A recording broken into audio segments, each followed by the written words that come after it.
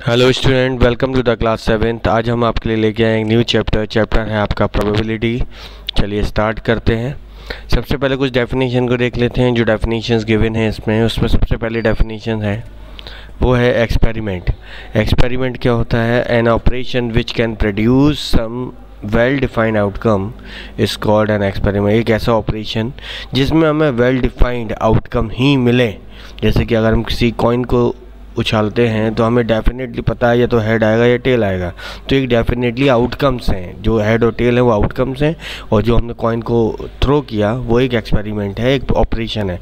तो एक ऐसा ऑपरेट जिसमें हमें डेफिनेट आउटकम मिलते हैं, उसको हम एक्सपेरिमेंट कहते हैं and each outcome is called an event और ईच आउटकम जो भी आउटकम होता है, उसको हम इवेंट कहते हैं ओके तो सबसे पहली डेफिनेशन उसके बाद होता है रैंडम एक्सपेरिमेंट किसी भी एक्सपेरिमेंट को बार बार करना। लिखा ना an experiment in which all possible outcome are known and the exact outcome can not be predicted in advance is called a random experiment अगर हम कोई एक्सपेरिमेंट करते हैं और हम जानते हैं कि उसके आउटकम क्या आएँगे, लेकिन हम प्रिडिक्ट नहीं कर सकते कि क्या आएगा। पहले से करें इन एडवांस में हम बता नहीं सकते कि क्या आएगा, उसको हम कहते हैं रैंडम एक्सपेरिमेंट ठीक है, बात करेंगे trial by a trial we mean performing a random experiment हम किसी भी रैंडम एक्सपेरिमेंट को जब बार बार करते हैं तो वो हो जाता है ट्रायल ठीक है?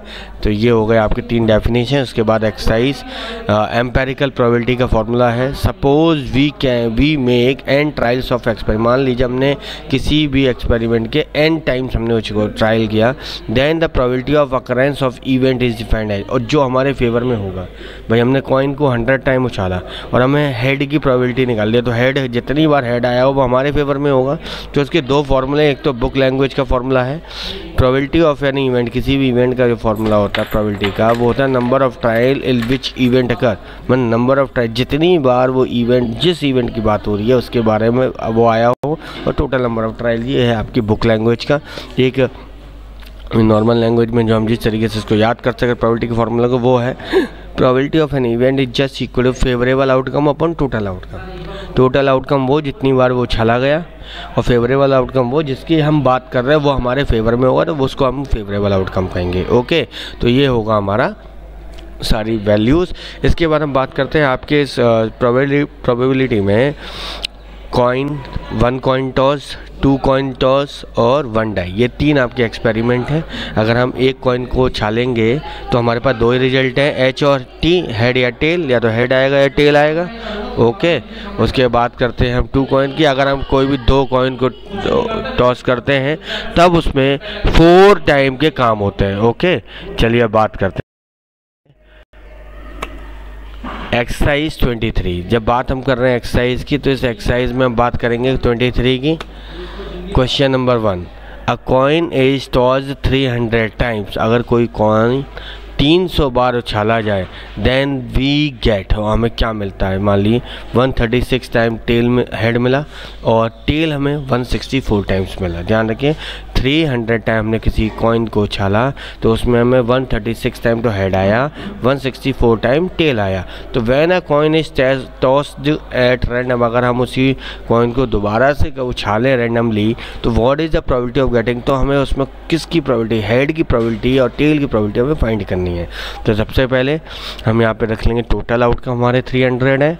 हेड हमारे 136 है टेल हमारे 164 है ओके देन फॉर्मूला होता है probability of favourable outcome upon total outcome हम, हमें किसकी प्रोबेबिलिटी निकालनी है? पहले केस में हेड की निकालनी है तो हेड के कितने नंबर है? 136 टोटल कितने हैं? 300 सॉल्व कर लेंगे डिवाइड दे लेंगे फोर से तो आ जाएगा 36 34 अपॉन 75 इज़ द आंसर ये है प्रोबेबिलिटी ऑफ़ फ़र्स्ट पार्ट या प्रोबेबिलिटी ऑफ़ हेड अगर हम बात करें प्रोबेबिलिटी ऑफ़ टेल तो टेल के नंबर हमारे फेवर में होंगे तो टेल के नंबर ऊपर डिवाइड बाय 300 और सही बात करते हैं हम, यहाँ पे डिवाइड करेंगे फोर से forty one upon seventy five is our answer, ठीक है? तो इस तरीके से हम प्रोबेबिलिटी फाइंड आउट कर सकते हैं।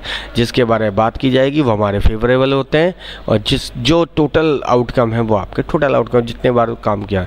अगला क्वेश्चन लेते हैं two coin are tossed simultaneously अगर दो कॉइन को हम एक साथ उछालें, कितनी बार? Two hundred time and we get हमें मिलता है टू हेड्स दो हेड मान लीजिए दो कॉइन को चला दोनों में हेड आ गया। तो कितने बार हुआ ऐसा?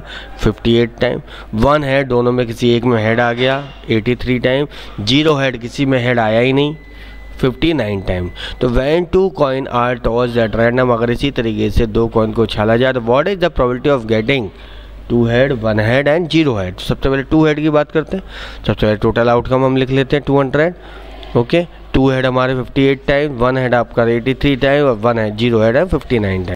हम बात करेंगे फार्मूले की। फार्मूला होता है favourable outcome upon total outcome पहले पार्ट में हमें पूछ रहा है टू हेड की तो टू हेड हमारे 58 टाइम्स आए थे अपॉन 200 सॉल्व कर लिया टू से डिवाइड कर 29 अपॉन हंड्रेड बात करेंगे सेकंड पार्ट की। सेकंड पार्ट में वन हेड की प्रोबेबिलिटी निकालनी है तो वन हेड की जो आपकी फेवरेबल नंबर है, वो 83 आउट ऑफ़ 200 सॉल्व कर सॉल्व होगा नहीं एज रहेगा बात करें थर्ड पार्ट की ज़ीरो हेड ज़ीरो हेड में 59 थे अपॉन 200 ये भी सॉल्व नहीं होता एज इट तो ये आपके फाइनली आंसर्स हो गए, कि प्रोबेबिलिटी इस तरीके से फाइंड आउट होंगी।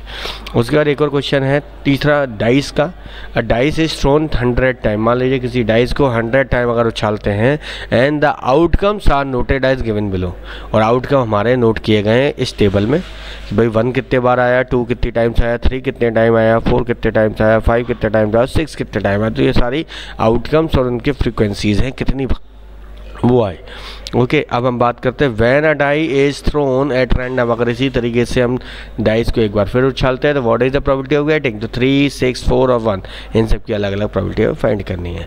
तो सबसे पहले टोटल आउटकम हंड्रेड प्रोबेबिलिटी का फॉर्मूला ओके एंड देन सबसे पहला है थ्री की प्रोबेबिलिटी तो प्रोबेबिलिटी ऑफ़ थ्री इवेंट की जगह पे थ्री लिखा है और कितनी बार आया थ्री चेकआउट कर लो। एटीन टाइम्स आया आउट ऑफ़ हंड्रेड सॉल्व करें नाइन अपॉन फिफ्टीन दूसरा होता है प्रोबेबिलिटी ऑफ़ सिक्स की निकाल लें सिक्स कितने टाइम आया? Nine time nine upon hundred तीसरा है आपका प्रोबेबिलिटी ऑफ़ फोर फोर कितने टाइम्स आया?